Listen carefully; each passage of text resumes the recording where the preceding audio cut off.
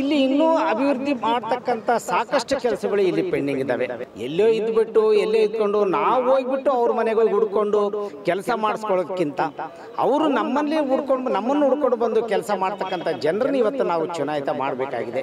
ಇಲ್ಲಿನ ಜನ ವ್ಯಕ್ತಿ ನೋಡೋಟ್ ಆಗ್ತಾ ಇದ್ದಾರ? ಪಕ್ಷ ನೋಡೋಟ್ ಆಗ್ತಾ ಇದ್ದಾರ? ಮೊದಲು ಪಕ್ಷ ನೋಡ್ತಾ ಇದ್ರು ಆದ್ರೆ ಈ ಸಲ ನಾವೇನ್ ಮಾಡ್ತಾ ಇದೀವಿ ವ್ಯಕ್ತಿನ ನೋಡ್ತಾ ಇದ್ವಿ. ಸರ್ ಈಗ ಜಯನಗರದಲ್ಲಿ ಈಗ ಕಾಂಗ್ರೆಸ್ ಪ್ರೆಸೆಂಟ್ ಆಗಿದೆ. ಈಗ ಎರಡ್ ಸಾವಿರದ ಇಪ್ಪತ್ತ್ ಮೂರು ಎಲೆಕ್ಷನ್ ಬರ್ತಾ ಇದೆ. ಸೊ ಯಾವ ಪಕ್ಷಕ್ಕೆ ಇಲ್ಲಿ ನೇರ ಇಲ್ಲ, ಇಲ್ಲಿ ಪಕ್ಷ ಅಂತ ಏನಿಲ್ಲ. ವ್ಯಕ್ತಿಗತವಾಗಿ ಇಲ್ಲಿ ಯಾರು ಕೆಲಸ ಮಾಡ್ತಾರೋ, ಅವ್ರನ್ನ ಜನ ಈಗ ಮುಂಚೆ ಎಲ್ಲ ಪಕ್ಷ ನೋಡಿ ಇದು ಮಾಡಿ ಓಟ್ ಹಾಕೋರು. ಇವಾಗ ಯಾರು ಆ ಥರ ಎಲ್ಲ ನೋಡಲ್ಲ. ಆಮ್ ಆದ್ಮಿ ಪಕ್ಷನ ನಾವಿಲ್ಲಿ ಉದಾಹರಣೆ ತಗೊಳ್ಳಿಕ್ ಆಗಲ್ಲ ಸರ್. ಯಾಕೆಂದ್ರೆ ಅದೇನೋ ಅವ್ರದ್ದು ಒಂಥರ ಲಕ್ ಅದು ಅಷ್ಟೇನೆ. ಅದು ಪಂಜಾಬ್ನಲ್ಲಿ ಏನು ರೈತರದ ಗಲಾಟೆ ಆಯ್ತಲ್ಲ ಅದ್ರದ್ದು ಎಫೆಕ್ಟ್ ಅಲ್ಲಿ ತಿರ್ಕೊಳ್ತು. ಆದ್ರೆ ಆ ಆಮ್ ಆದ್ಮಿ ಪಕ್ಷ ಡೆಲ್ಲಿನಲ್ಲಿ ಮಾಡಿರ್ತಕ್ಕಂಥ ಬದಲಾವಣೆಗಳನ್ನ ಬೆಂಗಳೂರಿನಲ್ಲಿ ತರ್ತಾರೆ ಅನ್ನೋದು ಆ ಗ್ಯಾರಂಟಿ ಕಾರ್ಡ್ ಇದೆಯಲ್ಲ ಅದು ಓನ್ಲಿ ವಾರಂಟಿ ಕಾರ್ಡ್ ಆಗಿರುತ್ತೆ ವಿನ ಗ್ಯಾರಂಟಿ ಕಾರ್ಡ್ ಆಗಲ್ಲ ಸೊ ಎಲ್ಲ ಒಂದ್ ಕಡೆ ಮೋದಿ ಎಫೆಕ್ಟ್ ಮೋದಿ ಅಲೆ. ಕರ್ನಾಟಕದಲ್ಲಿ ಜಯನಗರದಲ್ಲಿ ಬೀಸ್ತಾ ಇದೆ ಅಲ್ಲ ಅದು ಇದೆ. ಇಲ್ಲ ಅಂತ ಹೇಳಕ್ಕಾಗಲ್ಲ. ಈ ಕಾರ್ಯಕ್ರಮದ ಪ್ರಾಯೋಜಕರು Jini millet health mix. Jini ಕುಡಿಯಿರಿ ಆರೋಗ್ಯವಾಗಿರಿ. ಈ ಕಾರ್ಯಕ್ರಮದ ಸಹ ಪ್ರಾಯೋಜಕರು ಅಮೃತ್ ನೋನಿ ಸ್ಮಯಾ ಪ್ರಾಪರ್ಟೀಸ್ ರಿಶು ಮಸಾಲಾ. ಯೂಟ್ಯೂಬ್ನಲ್ಲಿ ಸಬ್ಸ್ಕ್ರೈಬ್ ಆಗಿ ಫೇಸ್ಬುಕ್ನಲ್ಲಿ ಫಾಲೋ ಮಾಡಿ ವೆಬ್ಸೈಟ್ ಲಾಗಿನ್ ಆಗಿ ಕಂಪ್ಲೀಟ್ ನ್ಯೂಸ್ ಓದಿ. ಎಸ್ ಜಯನಗರ ವಿಧಾನಸಭಾ ಕ್ಷೇತ್ರ ಇಲ್ಲಿನ ಜನರ ಅಭಿಪ್ರಾಯವನ್ನು ಇವತ್ತು ನಾವು ಸಂಗ್ರಹ ಮಾಡ್ತೀವಿ. ನಾವೀಗ ಮೈಯಾಸ್ನಲ್ಲಿದ್ದೀವಿ. ಸಿಕ್ಕಾಪಟ್ಟೆ ಗ್ರಾಹಕರಿದ್ದಾರೆ ಸಿಕ್ಕಾಪಟ್ಟೆ ಸ್ಥಳೀಯರಿದ್ದಾರೆ. ಇಲ್ಲಿನ ಜನ ಹಾಗಾದರೆ ಎಂ ಎಲ್ ಎ ಬಗ್ಗೆ ಏನು ಹೇಳ್ತಾರೆ? ಯಾರಾಗ್ತಾರೆ? ಎರಡು ಸಾವಿರದ ಇಪ್ಪತ್ತ್ಮೂರರ ಮುಂದಿನ ಎಂ ಎಲ್ ಎ. ಎಲ್ಲದ್ರ ಬಗ್ಗೆ ಮಾತಾಡೋಣ. ಬನ್ನಿ ಮಾತಾಡ್ಸೋಣ. ಸರ್ ನಮಸ್ತೆ ನಿಮ್ಮ ಸರ್? ನಾನು ಬಸವರಾಜ್ ಅಂತ ಹೇಳಿ ಸರ್. ಮಂಜುಂಡಿ ಅಂತ. ಸರ್ ಈಗ ಜಯನಗರ ಇಂಪ್ರೂವ್ ಆಗಿದೆಯಾ? ಯಾರಿಲ್ಲಿ ಶಾಸಕರು? ಏನು ಅನ್ಸುತ್ತೆ ನಿಮ್ಮ ಜಯನಗರ?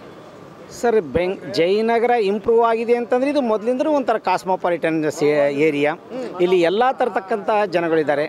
ಅಂದರೆ ನಮ್ಮ ಸ್ಲಮ್ ನಿವಾಸಿಗಳಿಂದ ಹಿಡಿದು ಹೈಟೆಕ್ ಜನಗಳು ಎಲ್ಲ ಟೈಪ್ ಜನಗಳು ಇದ್ದಾರೆ. ವಿದ್ಯಾವಂತರಿದ್ದಾರೆ, ಅವಿದ್ಯಾವಂತರಿದ್ದಾರೆ, ಕಾರ್ಮಿಕರು ಇದ್ದಾರೆ, ಶ್ರೀಮಂತರಿದ್ದಾರೆ ಬಿಸ್ನೆಸ್ ಪೀಪಲ್ಸ್ ಇದ್ದಾರೆ. ಆದರೆ ಇಲ್ಲಿ ಇನ್ನೂ ಅಭಿವೃದ್ಧಿ ಮಾಡ್ತಕ್ಕಂಥ ಸಾಕಷ್ಟು ಕೆಲಸಗಳು ಇಲ್ಲಿ ಪೆಂಡಿಂಗ್ ಇದ್ದಾವೆ. ಹಿಂದಿನ ಶಾಸಕರು ಯಾರೇ ಇರ್ಬೋದು ಬಟ್ ಈಗ ನಮ್ಮ ದೃಷ್ಟಿಯಲ್ಲಿರ್ತಕ್ಕಂಥದ್ದು ಎರಡು ಸಾವಿರ ಇಪ್ಪತ್ತ್ಮೂರರ ಐದು ವರ್ಷದ ಚುನಾವಣೆ. ನಾನು ಕೇಳ್ಕೊಳ್ಳೋದು ಇಷ್ಟೇ ಎಲ್ಲರಿಗೂ ಯಾವುದೇ ಒಂದು ವ್ಯಕ್ತಿಗೆ ನಾವು ಓಟ್ ಹಾಕಬೇಕಾದಾಗ ಇದು. ನಾವು ಸೆಂಟ್ರಲ್ನಲ್ಲಿ ನಾವು ತಗೊಳ್ಬೇಕಾದಾಗ ನಾವು ಕೇಂದ್ರದ ನಾಯಕತ್ವವನ್ನು ನೋಡ್ತೀವಿ. ಆದರೆ ಇಲ್ಲಿ ಸ್ಥಳೀಯ ನಾಯಕತ್ವಕ್ಕೆ ಬಂದಾಗಿ ನಾವು ಸ್ಥಳೀಯ ಜನರನ್ನು ನಾವು ಅವಲೋಕಿಸಬೇಕಾಗತ್ತೆ.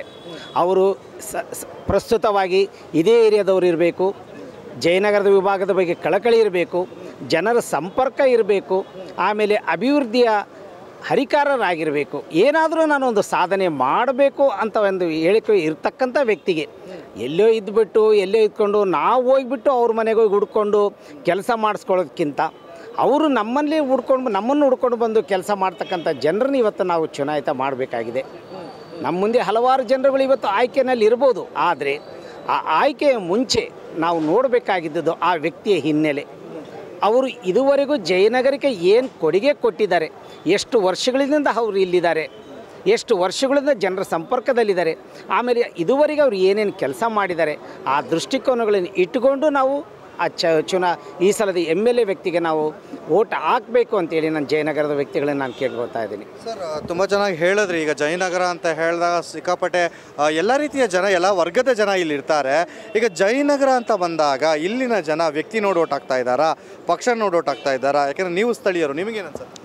ಸರ್, ಇಲ್ಲಿ ನಾನು ಇದುವರೆಗೆ ನೋಡಬೇಕಾದಾಗೆ ಮೊದಲು ಪಕ್ಷ ನೋಡ್ತಾ ಇದ್ರು. ಆದರೆ ಈ ಸಲ ನಾವೇನು ಮಾಡ್ತಾ ಇದೀವಿ? ವ್ಯಕ್ತಿನ ನೋಡ್ತಾ ಇದ್ವಿ. ಈಗ ನೋಡಿ ಎಕ್ಸಾಂಪಲ್ ಬಿ ಡಿ ಎ ಕಾಂಪ್ ನಮ್ಮ ಬ ಜಯನಗರದ ಕಾಂಪ್ಲೆಕ್ಸೇ ತಗೊಳ್ಳಿ. ಇಪ್ಪತ್ತು ವರ್ಷದಿಂದ ನಾನು ಹತ್ತು ಹದಿನೈದು ವರ್ಷದಿಂದ ನೋಡಿದಾಗೆ ಜಯನಗರ ಕಾಂಪ್ಲೆಕ್ಸಿಗೆ ಬರಬೇಕಂದ್ರೆ ಏನೋ ಒಂದು ಉಲ್ಲಾಸ. ಎಲ್ಲರೂ ಎಲ್ಲ ಟೈಪ್ ಜನಗಳು ಅಲ್ಲಿ ಬಂದುಬಿಟ್ಟು ಎಲ್ಲ ತರ್ತಕ್ಕಂಥ ವಿ ಬಿಸ್ನೆಸ್ ಸೆಂಟರ್ ಇರ್ಬೋದು, ಒಂದು ಎಂಜಾಯ್ಮೆಂಟಿಗಿರ್ಬೋದು ಆ ಕಾಂಪ್ಲೆಕ್ಸ್ ಅನ್ನೋದು ಒಂಥರ ಎಂಜಾಯ್ಮೆಂಟ್ ಆಗಿತ್ತು. ಆದರೆ ಈಗ ಆ ಕಾಂಪ್ಲೆಕ್ಸನ್ನು ನಾವು ನೋಡಲಿಕ್ಕೆ ಆಗುತ್ತಾ ಆ ಹಿಂದಿನ ಒಂದು ಸುಂದರವಾದ ವಾತಾವರಣ ಅಲ್ಲಿದೆಯಾ? ಇಲ್ಲ. ನಾವು ಅದಕ್ಕೋಸ್ಕರ ನಾವು ಕೇಳ್ತಾ ಇರೋದು, ಇಲ್ಲಿ ಈ ಸರಿ ನಾವು ನೋಡ್ತಾ ಇರೋದು, ಇಲ್ಲಿ ಪ್ರತಿಯೊಬ್ಬರನ್ನು ಕೇಳ್ಕೊಳ್ಳೋದು ಅಷ್ಟೇ ನಾನೂ ಅಷ್ಟೇ ಇಲ್ಲಿ ನಾವು ರಾಜ್ಯ ಮಟ್ಟದ, ಕೇಂದ್ರ ಮಟ್ಟದ ವ್ಯಕ್ತಿಗಳನ್ನು ನೋಡಬಾರ್ದು. ಈ ಜಯನಗರದ ಮಟ್ಟದ ವ್ಯಕ್ತಿಗಳನ್ನು ನಾವು ನೋಡಬೇಕು. ಆಮೇಲೆ ನಾನು ಇಲ್ಲಿ ಅನುಭವ ಪಟ್ಟಿದ್ದಂಗೆ ಅಥವಾ ಜನರನ್ನು ನಾನು ಚರ್ಚಿಸಿದಾಗೆ, ಇಲ್ಲಿ ಈ ಸಲವಾಗಿ ವೈಯಕ್ತಿಕವಾಗಿ ವ್ಯಕ್ತಿಗತವಾಗಿ ಅವರು ಜನರನ್ನು ಆಯ್ಕೆ ಮಾಡ್ತಾ ಇದ್ದಾರೆ ಅಂತ ನನ್ನ ಅಭಿಪ್ರಾಯ ಇದೆ. ಸರ್, ಈಗ ಜಯನಗರದಲ್ಲಿ ಈಗ ಕಾಂಗ್ರೆಸ್ ಪ್ರೆಸೆಂಟ್ ಆಗಿದೆ. ಈಗ ಎರಡು ಸಾವಿರದ ಇಪ್ಪತ್ತ್ಮೂರು ಎಲೆಕ್ಷನ್ ಬರ್ತಾ ಇದೆ. ಸೊ ಯಾವ ಪಕ್ಷಕ್ಕೆ ಇಲ್ಲಿ ನೇರ ಫೈಟ್ ಇದೆ ಇಲ್ಲ, ಇಲ್ಲಿ ಪಕ್ಷ ಅಂತ ಏನಿಲ್ಲ. ವ್ಯಕ್ತಿಗತವಾಗಿ ಇಲ್ಲಿ ಯಾರು ಕೆಲಸ ಮಾಡ್ತಾರೋ, ಅವ್ರನ್ನ ಜನ ಈಗ ಮುಂಚೆ ಎಲ್ಲ ಪಕ್ಷ ನೋಡಿ ಇದು ಮಾಡಿ ಓಟ್ ಹಾಕೋರು. ಇವಾಗ ಯಾರು ಆ ಥರ ಎಲ್ಲ ನೋಡಲ್ಲ. ಯಾರು ಕೆಲಸ ಮಾಡ್ತಾರೆ, ಯಾರು ಸ್ಥಳೀಯವಾಗಿ ಜನಗಳಿಗೆ ಯಾರು ಸಿಗ್ತಾರೆ? ಈ ಬೆಳಿಗ್ಗೆ ಎದ್ದ ತಕ್ಷಣ ಇವ್ರು ಏನು ಹೇಳ್ದಂಗೆ, ಬಸವರಾಜ್ ಸರ್ ಹೇಳ್ದಂಗೆ, ನಾವು ಅವ್ರನ್ನ ಹುಡುಕಿ ಹೋಗೋದಲ್ಲ. ಜನಗಳನ್ನ ಹುಡಿಕೊಂಬರ್ಬೇಕು ಅವರು. ಏನು ಕೆಲಸ ಆಗಬೇಕು ಏನು ಮಾಡಬೇಕು ಹೇಳಿ ಅಂತ ಜನಗಳನ್ನ ಹುಡಿಕೊಂಬಂದು ಕೆಲಸ ಮಾಡೋಂಥ ವ್ಯಕ್ತಿನ ಯಾರಾಗಿರ್ಬೋದು ಅವರು. ಯಾವ ಪಕ್ಷರಾಗಿರ್ಬೋದು ಆ ಪಕ್ಷ ಈ ಪಕ್ಷ ಅಂತ ಅಲ್ಲ. ಯಾರು ಜನಗಳಿಗೆ ಸಿಗ್ತಾರೆ ಯಾರು ಜನಗಳನ್ನ ಕೆಲಸ ಮಾಡ್ತಾರೆ ಅಂಥ ವ್ಯಕ್ತಿನ ಆರಿಸ್ಬೇಕು. ಅದನ್ನೇ ಜನ ಯೋಚನೆ ಮಾಡ್ತಾರೆ ಅದನ್ನೇ ನಾವು ಯೋಚನೆ ಮಾಡ್ತಾ ಇದ್ದೀವಿ. ಈಗ ಇರೋರು ನಾಲ್ಕು ಜನರಲ್ಲಿ ಯಾರು? ನೀವು ಫೈಟ್ ವಿಚಾರ ಕೇಳಿದಿರಿ. ಆ್ಯಕ್ಚುಲಿ ಹೇಳ್ಬೇಕಂದ್ರೆ ಇಲ್ಲಿ ಫೈಟ್ ಇರೋದು ಕಾಂಗ್ರೆಸ್ಸು ಬಿ ಜೆ ಪಿ ಇರೋದೇ ಅಷ್ಟೇ. ಫೈಟ್ ಇರಲ್ಲ. ಈಗ ಜೆ ಡಿ ಎಸ್ನವ್ರು ಹೇಳ್ತಾವ್ರೆ ಜೆ ಡಿ ಎಸ್ ಅಭ್ಯರ್ಥಿನ ಹಾಕ್ತೀವಿ ಜಯನಗರದಲ್ಲಿ ಜೆ ಡಿ ಎಸ್ ಬಾವುಟ ಆರಿಸ್ತೀವಿ ಅಂತ. ಆಗತ್ತಾ? ಸಾಧ್ಯ ಸರ್ ನಮ್ಮ ಭಾರತೀಯ ಸಂವಿಧಾನದಲ್ಲಿ ಸಾಕಷ್ಟು ಪಕ್ಷಗಳಿದ್ದಾವೆ ಸಾಕಷ್ಟು ವ್ಯಕ್ತಿಗಳೂ ಇದ್ದಾರೆ ಇಲ್ಲಿ ನಾನು ತಾವು ಕೇಳಿದಂಗೆ ಇಲ್ಲಿ ಫೈಟ್ ಇರೋದು ನನಗನ್ಸಿದ ಮಟ್ಟಿಗೆ Congress and B J P ನಡೆಯುತ್ತೆ. ಜೆ ಡಿ ಎಸ್ ಅವಕಾಶ ಇದೆಯಾ? ಜೆ ಡಿ ಎಸ್ಗೆ ಅವಕಾಶ ಖಂಡಿತ ಇದೆ. ಯಾಕೆಂದರೆ ನಮ್ಮ ಸಂವಿಧಾನದಲ್ಲಿ ಎಲ್ಲ ಪಕ್ಷಗಳಿಗೂ ಅವಕಾಶ ಇದೆ. ಆದರೆ ತಾವು ಒಂದು ಕ್ವಶನ್ ಕೇಳಿದ್ರಿ ಕಾಂಪಿಟೇಷನ್ ಕಾಂಪಿಟೇಷನ್ ವಿಚಾರ ಬಂದಾಗ ನನಗನ್ಸಿದ ಮಟ್ಟಿಗೆ B J P versus Congress ಇನ್ನು ಡೆಲ್ಲಿಯಲ್ಲಿ ಆಮ್ ಆದ್ಮಿ ಪಾರ್ಟಿ ಗೌರ್ಮೆಂಟಲ್ಲಿದೆ. ಸರ್, ಡೆಲ್ಲಿ ನೋಡಿ ಎಷ್ಟು ಇಂಪ್ರೂವ್ಮೆಂಟ್ ಮಾಡಿದ್ದೀವಿ. ಜಯನಗರನು ಡೆಲ್ಲಿ ರೇಂಜಿಗೆ ಇಂಪ್ರೂವ್ಮೆಂಟ್ ಮಾಡ್ತೀವಿ. ಇನ್ನೂರು ಯೂನಿಟ್ ವಿದ್ಯುತ್ ಎಲ್ಲ ಫ್ರೀ ಕೊಡ್ತೀವಿ. ನಮ್ಮ ಪಕ್ಷದ ಅಭ್ಯರ್ಥಿ ಹಾಕಾರೆ ಜನ ಬದಲಾವಣೆ ಬಯಸ್ತಾರೆ. ನಮ್ಮ ಪಕ್ಷದ ಅಭ್ಯರ್ಥಿನ ಗೆಲ್ಲಿಸ್ಬೋದು ಅಂತಾರೆ. ನೀವೇನು ಹೇಳ್ತೀರಿ ನಾವು ಡೆಲ್ಲಿ ಆಮ್ ಆದ್ಮಿ ಪಕ್ಷನ ನಾವಿಲ್ಲಿ ಉದಾಹರಣೆ ತಗೊಳ್ಳಿಕ್ಕಾಗಲ್ಲ ಸರ್. ಯಾಕೆಂದರೆ ಅದೇನೋ ಅವ್ರದ್ದು ಒಂಥರ ಲಕ್ ಅದು ಅಷ್ಟೇ ಅದು ಪಂಜಾಬ್ನಲ್ಲಿ ಏನು ರೈತರದ ಗಲಾಟೆ ಆಯ್ತಲ್ಲ, ಅದ್ರದ್ದು ಎಫೆಕ್ಟು ಅಲ್ಲಿ ತಿರ್ಕೊಳ್ತು. ಆದರೆ ಆ ಆಮ್ ಆದ್ಮಿ ಪಕ್ಷ ಡೆಲ್ಲಿನಲ್ಲಿ ಮಾಡಿರ್ತಕ್ಕಂಥ ಬದಲಾವಣೆಗಳನ್ನು ಬೆಂಗಳೂರಿನಲ್ಲಿ ತರ್ತಾರೆ ಅನ್ನೋದು ಆ ಗ್ಯಾರಂಟಿ ಕಾರ್ಡ್ ಇದೆಯಲ್ಲ, ಅದು ಓನ್ಲಿ ವಾರಂಟಿ ಕಾರ್ಡ್ ಆಗಿರುತ್ತೆ ನಾವು ಗ್ಯಾರಂಟಿ ಕಾರ್ಡ್ ಆಗಲ್ಲ ಅದು. ಅದನ್ನು ನಾವು ಇತ್ತ ಆಶ್ವಾಸನೆಗಳನ್ನು, ಪ್ರಮಾಣ ಪತ್ರಗಳನ್ನು ನಮ್ಮ ಜೀವನದಲ್ಲಿ ಸುಮಾರು ಚುನಾ ಚ- ಚುನಾವಣೆಯಲ್ಲಿ ನಾವು ನೋಡಿಬಿಟ್ವಿ. ಆದರೆ ಆ ಡೆಲ್ಲಿ ಆಮ್ ಆದ್ಮಿ ಪಕ್ಷದ ಒಂದು ಚುನಾವಣೆ ಪ್ರಣಾಳಿಕೆಗಳು ಬೆಂಗಳೂರಿನಲ್ಲಿ ವರ್ಕೌಟ್ ಆಗ್ಲಿಕ್ಕೆ ಸಾಧ್ಯತೆ ಇದೆಯಾ ಅನ್ನೋದನ್ನು ನಾವು ಯೋಚನೆ ಮಾಡಬೇಕಾಗಿದೆ. ಅದು ಆಗದೇ ಇರತಕ್ಕಂಥ ವಿಚಾರ. ಯಾಕೆಂದರೆ ಇದು ಸುಮಾರು ಮಟ್ಟಿಗೆ ಬೆಳೆದಿರ್ತಕ್ಕಂಥ ಜ ಏರಿಯಾ ಇದು ಬೆಂಗಳೂರು ಅನ್ನೋದು. ಸರ್ ಈಗ ನೀವು ಹೇಳಿದ್ರಿ ನೀವು ಹೇಳಿದ್ದಕ್ಕೆ ಕಾಂಗ್ರೆಸ್ ಮತ್ತು ಬಿ ಜೆ ಪಿಗೆ ನೇರ ಫೈಟ್ ಇದೆ. ಕಾಂಪಿಟೇಷನ್ ಅಂತ ಬಂದಾಗ ಎರಡು ಪಕ್ಷ. ಅಂತ ಈಗ ಇನ್ನೇನು ಸ್ವಲ್ಪ ಕೆಲವೇ ತಿಂಗಳುಗಳಲ್ಲಿ ಎಲೆಕ್ಷನ್ ಇದೆ. ಈ ಎಲೆಕ್ಷನ್ನಲ್ಲಿ ಯಾವ ಪಕ್ಷಕಾರ ಅಧಿಕಾರಕ್ಕೆ ಬರ್ಬೋದು ಇಲ್ಲ ಯಾರು ಅಧಿಕಾರಕ್ಕೆ ಬರ್ಬೋದು? ನಿಮ್ಮ ಅಭಿಪ್ರಾಯ ಏನು? ಇಲ್ಲಿ ಜಯನಗರ ಕ್ಷೇತ್ರ. ಜಯನಗರ ಕ್ಷೇತ್ರನ? ಇದು ನನಗೆ ಒಂದು ಸಂದಿಗ್ಧ ಪರಿಸ್ಥಿತಿ ನೀವು. ನಾನು ಹೇಳೋ ಪ್ರಕಾರ ನೋಡಿದರೆ ಬಿ ಜೆ ಪಿ ಚೆನ್ನಾಗಿದೆ ಇಲ್ಲಿ. ಬಿಜೆಪಿ. ನೀವೇನು ಹೇಳ್ತೀರಿ? ಬಿ ಜೆ ಪಿ ಚೆನ್ನಾಗಿದೆ ಸರ್ ಇಲ್ಲಿ. ಯಾಕೆಂದರೆ ಯಾಕೆ ಸರ್ ಯಾಕೆ ಬಿ ಜೆ ಪಿಗೆ ಓಟ್ ಹಾಕಬೇಕು ಜನ? ಯಾಕೆ ಈಗಾಗಲೇ ಬಿ ಜೆ ಪಿ ಸರ್ಕಾರ ಇದೆ ನಮ್ಮ ರಾಜ್ಯದಲ್ಲಿ? ಸರ್ ಇಲ್ಲಿ ಬಿ ಜೆ ಪಿ ಸರ್ಕಾರಕ್ಕೆ ನಾವು ಯಾಕೆ ಓಟ್ ಹಾಕ್ಬೇಕಂದ್ರೆ ಇಲ್ಲಿ ಒಂದು ನಾಯಕತ್ವ ಇದೆ. ನಾಳೆ ಯಾರಾದರೂ ತಪ್ಪು ಮಾಡಿದರೆ ಕಿವಿಂಡಿ ಕೇಳ್ತಕ್ಕಂಥ ಜನ ಈ ಪಕ್ಷದಲ್ಲಿದ್ದಾರೆ. ಸೊ ಬೇರೆ ಪಕ್ಷದಲ್ಲಿ ಇಲ್ಲ ಅಂತ ಹೇಳಲಿಕ್ಕಾಗಲ್ಲ. ಬೇರೆ ಪಕ್ಷದಲ್ಲಿ ಒಂದು ಥರ ಸುಮಾರು ನಾವು ಇದು ಆದರೆ ಇಲ್ಲಿ ನಾಯಕತ್ವ ಯಾವ ರೀತಿ ಇದೆ ಅಂತಂದರೆ, ಅವನು ಯಾವುದೇ ರೀತಿಯಿಂದ ನಾಳೆ ಕಿವಿಂಡಿ ಕೇಳ್ತಕ್ಕಂಥ, ಕೆಲಸ ಮಾಡತಕ್ಕಂಥ ನಾಯಕತ್ವ ಇಲ್ಲಿ ಬಿ ಜೆ ಪಿನಲ್ಲಿದೆ ಬಿ ಜೆ ಪಿ ಕೇಂದ್ರ ಆಡಳಿತ ಇರ್ಬೋದು, ಡೆಲ್ಲಿನಲ್ಲಿರ್ಬೋದು, ಆ ಒಂದು ನಾಯಕತ್ವ ಇಲ್ಲಿರೋದ್ರಿಂದ ಜನರಿಗೆ ಚುನಾವಣೆ ಗೆಲ್ಲೋರಿಗೆ ಅಥವಾ ನಿಂತ್ಕೊಳ್ಳೋರಿಗೆ ಒಂದು ಭಯ, ಭಕ್ತಿ ಇದೆ. ಜನರ ಜೊತೆಗೆ ಸಂಪರ್ಕ ಮಾಡಬೇಕು, ಜನರದ್ದು ಬದಲಾವಣೆ ತರಬೇಕು, ಅಭಿವೃದ್ಧಿ ಕಾರ್ಯ ಮಾಡಬೇಕು ಅನ್ನೋ ಒಂದು ವ್ಯಕ್ತಿತ್ವ ಇರುವಂಥವರಿಗೆ ಆ ನಾಯಕತ್ವ ಅವರು ಸೆಲೆಕ್ಟ್ ಮಾಡ್ತಾ ಇದ್ದಾರೆ. ಸೊ ಅದು ಇಲ್ಲಿ ಅವಕಾಶ ಜಾಸ್ತಿ ಇದೆ ಅಂತ ನಾನು ಹೇಳ್ತೀನಿ. ಈಗ ನೀವು ಬಿಜೆಪಿ ಅಂತ ಹೇಳಿದಕ್ಕೆ ಈ ಪ್ರಶ್ನೆ ಕೇಳ್ತೀನಿ. ಬಿ ಜೆ ಪಿಯ ಹಿರಿಯ ನಾಯಕರು ಮೋದಿ ಅವರು ಮಾತ್ರ ಬರ್ತಾ ಇದ್ದಾರೆ, ಅಮಿತ್ ಶಾ ಅವರು ಬರ್ತಾ ಇದ್ದಾರೆ. ಆಗಾಗ ರಾಜ್ಯಕ್ಕೆ ಬಂದು ವಿಸಿಟ್ ಮಾಡ್ತಾ ಇದ್ದಾರೆ, ಅಭಿವೃದ್ಧಿ ಕೆಲಸ ಅದು ಇದು ಆಗ್ತಾ ಇದೆ. ಸೊ ಎಲ್ಲ ಒಂದು ಕಡೆ ಮೋದಿ ಎಫೆಕ್ಟ್ ಮೋದಿ ಅಲೆ. ಕರ್ನಾಟಕದಲ್ಲಿ ಜಯನಗರದಲ್ಲಿ ಬೀಸ್ತಾ ಇದೆಯಾ? ಮೋದಿ ಅಲೆ ಎಫೆಕ್ಟ್ ಇದೆಯಾ? ಅಲ್ಲ, ಅದು ಇದೆ. ಇಲ್ಲ ಅಂತ ಹೇಳೋಕ್ಕಾಗಲ್ಲ. ಮೋದಿ ಅಲ್ಲೇನೂ ಇದೆ. ಆಮೇಲೆ ಇನ್ನೊಂದು ಏನಪ್ಪ ಅಂದರೆ ಬಿ ಜೆ ಪಿಗೆ ಯಾಕೋ ಜನ ಓಟ್ ಹಾಕ್ಬೇಕಂದ್ರೆ ಕೇಂದ್ರದಲ್ಲಿ ಬಿ ಜೆ ಪಿ ಇದೆ. ಎಲ್ಲ ಕಡೆನೂ ಸರ್, ರಾಜ್ಯದಲ್ಲೂ ಬಿ ಜೆ ಪಿ ಇದ್ದರೆ ಕೆಲಸಗಳು ಜನಪರ ಕೆಲಸಗಳಾಗ್ತವೆ, ಜನಗಳಿಗೆ.